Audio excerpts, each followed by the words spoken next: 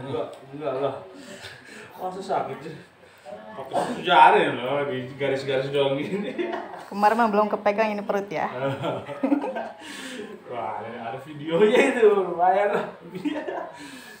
Kalau makin di videoin kami makin ganas. Ini